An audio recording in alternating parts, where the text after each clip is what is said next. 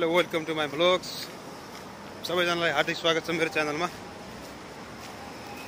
आज पनि म तपाईँहरूको माझमा एउटा अर्को भिडियो लिएर आएको छु। आज म यसो बाहिर घुम्न गइरहेको छु होइन?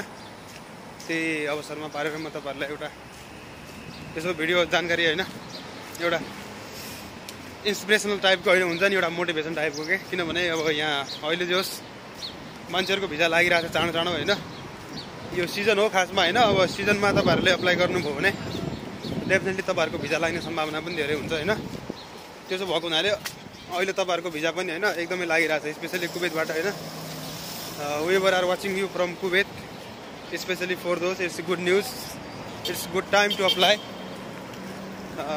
because now lot of applicants lot of my viewers they recently got visa also. So that is good sign for them. Uh, whoever are trying to apply and whoever are you know making all the documentation and preparing all these things uh, whoever are on the way of process so you, it is good news for you. Uh, you can confidently go and submit your application. Uh, just you need to do all these things all the document required documents should be uh, complete and in a proper way so so that you can get visa. Definitely it's good good sign.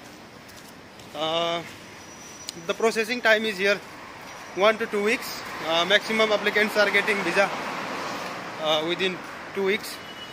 Uh, the embassy is not taking that much time so that is good. That's why i request you i recommend you guys this is perfect time to apply.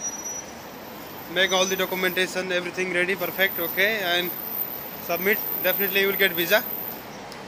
All the best guys. If you need any kind of assistance uh, information anything you can contact me through my whatsapp number.